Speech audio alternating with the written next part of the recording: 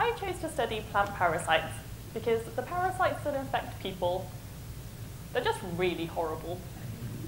And the prospect of spending my career sieving through people's poo really didn't appeal. Plus, I'm interested in researching the interaction between a parasite and its host immune system. And for this, there's really no need to study people, because although you might not be aware, plants actually have an immune system too. And when you think about it, this actually makes a lot of sense, because just consider how many parasites a plant is exposed to every single day. The air is full of fungal spores, the soil has bacteria and nematodes, and that yet when you look around outside, most plants are actually really healthy. And this is because the plant's immune system is really effective at protecting plants against most parasites. So let's take a look at how this plant immune system works and what happens when a parasite tries to infect a leaf cell.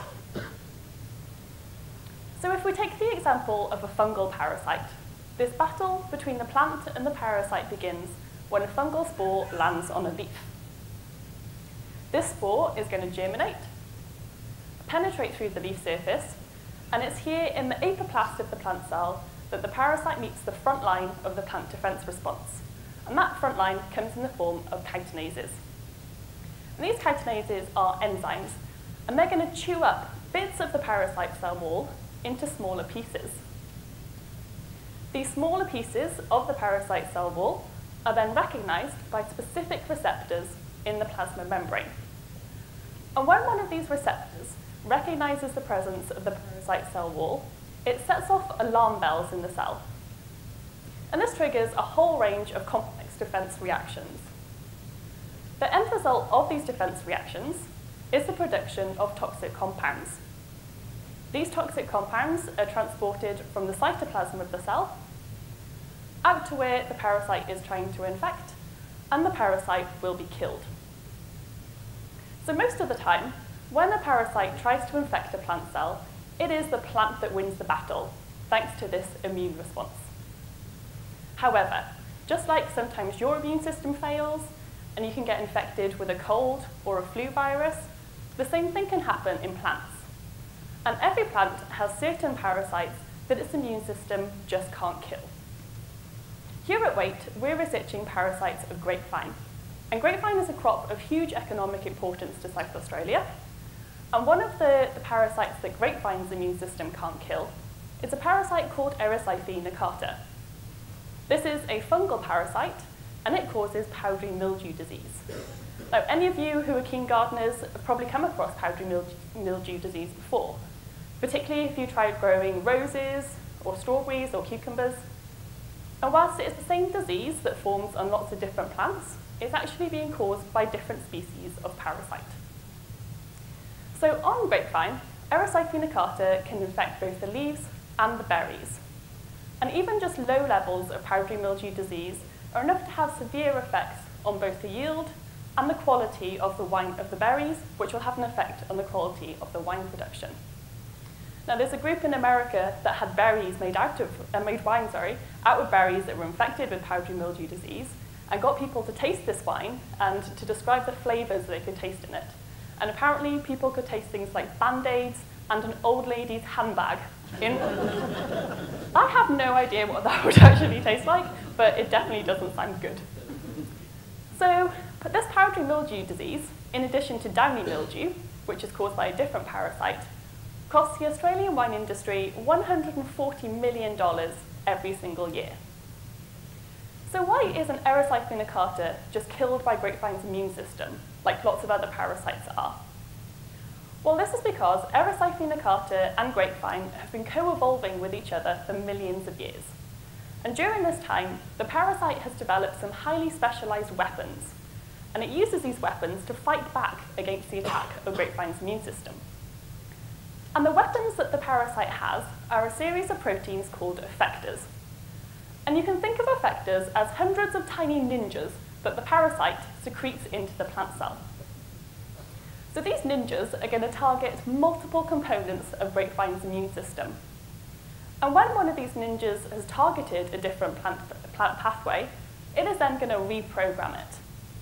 And this reprogramming of plant pathways by these ninjas acts to block both the production and the transport of these toxic compounds. So this means that the parasite isn't killed. So thanks to secreting these ninjas into the plant cell, it means that this time the parasite can win the battle. So if the plant, if grapevine, isn't able to defend itself against the parasite, then this means that growers need to intervene. And growers need to intervene to kill the parasite to prevent an outbreak of powdery mildew disease. And the growers will kill uh, the parasite by applying huge amount of fungicides. This level of fungicide application, most vineyards are sprayed six to seven times every single season.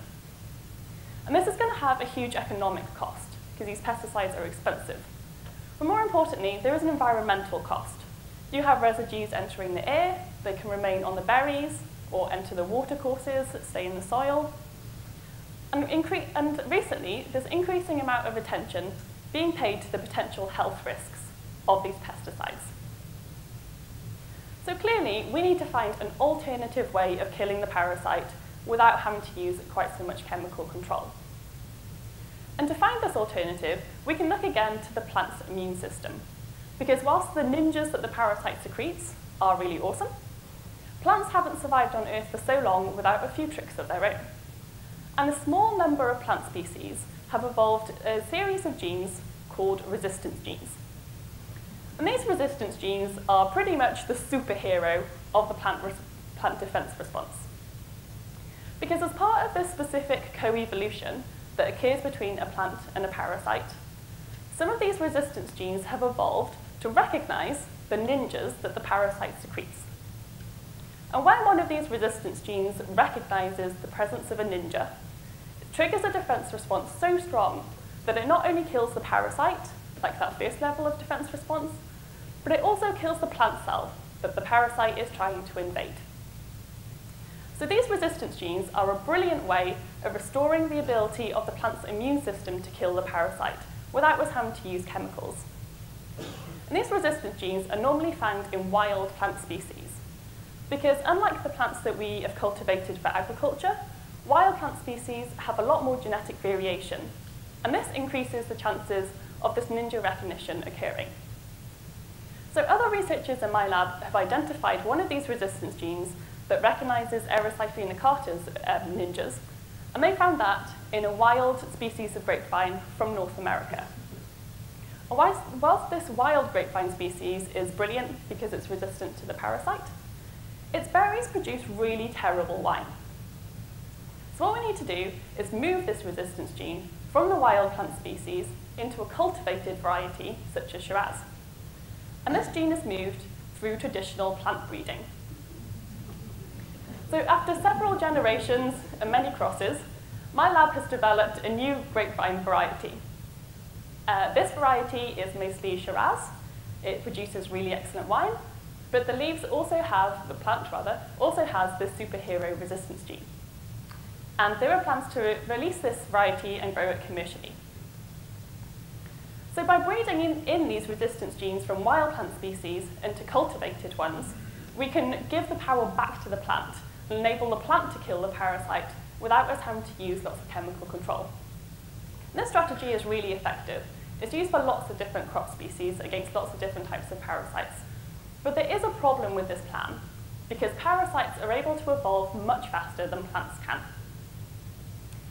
And so when the parasite is going through its life cycle and then go in multiple rounds of reproduction, random mutations will get introduced into the ninjas, most of these mutations aren't going to have any effect. They're what we call silent mutations. But occasionally, a mutation will arise in that specific ninja that's recognized by its specific resistance gene.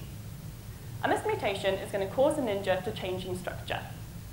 And once this ninja has changed in structure, it'll no longer be recognized by the resistance gene. And this means that when the parasite infects, that explosive level of defense response isn't going to be triggered. So once again, the parasite has adapted. Oops. like that. And this means that, again, it's the parasite that wins the battle. Now, this adaptation by the parasite has major consequences if you have a vineyard and all of, the vin all of the plants in the vineyard have been bred to contain this resistance gene. Because initially, all those individual parasites, most of them will still have the original ninja. So most of the parasites in the field are still going to be killed by the resistance gene. However, the small number of individuals that have this new penguin ninja, they're going to survive and they're going to reproduce. And eventually, you'll end up with a new population of parasites in the vineyard, and none of the parasites will be killed by the resistance gene. And that means, although a lot of time and money is spent in breeding these um, resistant varieties and replanting your entire vineyard, the grower is once again dependent on chemical control. But it's okay, because we have the solution to this problem. And that's to make sure that when you're breeding the plants, they don't just have one superhero resistance gene, but they have two. And the second resistance gene is going to recognize a different ninja within the same parasite. Because that way, even if the first resistance gene fails to recognize a ninja, the second resistance gene, they're still going to recognize their ninja in the parasite, and the parasite is still going to be killed before you have this emergence of the new population. So here at Waite, we're researching every aspect of this plant-parasite interaction. Because it's only by understanding how this complex and dynamic interaction is occurring at the tiny cellular level that we can begin to control these parasites out in the field in a way that uses less um, pesticides, less chemical control, but remains durable for many years to come. Thank you.